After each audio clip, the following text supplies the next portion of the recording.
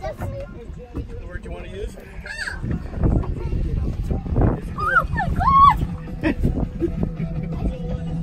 Good for having a pee.